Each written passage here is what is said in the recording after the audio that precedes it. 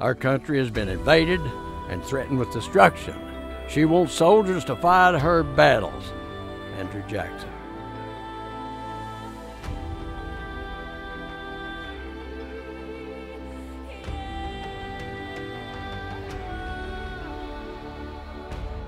Proceed without delay to this place.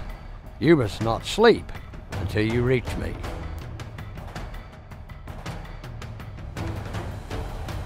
By the eternal, they shall not sleep on our soil. Gentlemen, the British are below. We must fight them tonight. See that officer on the gray horse? Snuff his candle. General John A.